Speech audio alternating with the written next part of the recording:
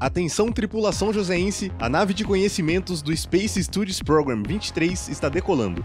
Nos próximos dois meses, São José dos Campos será a capital do maior evento de estudos espaciais do mundo, recebendo cerca de 100 estudantes que vieram de 28 países diferentes. So there is a lot of um, events which highlight um, the importance of space and space research.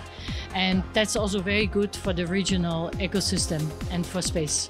We have been welcomed here very, very with um, really, really warm feelings, and it was wonderful. Uh, and I think it will be a wonderful summer school.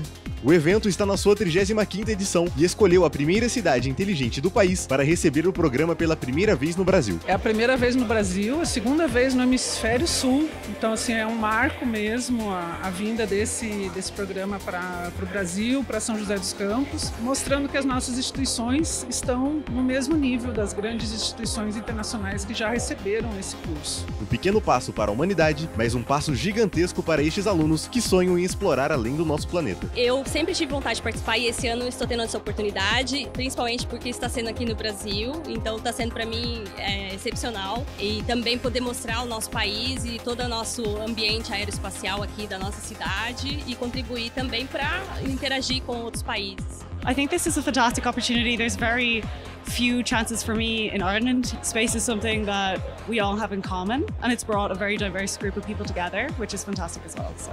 Mais notícias você confere no site e nas redes sociais da Prefeitura.